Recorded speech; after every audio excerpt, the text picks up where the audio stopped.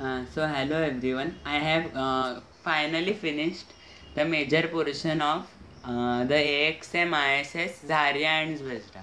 So only minor detailing is remaining. So this is how it looks in the end.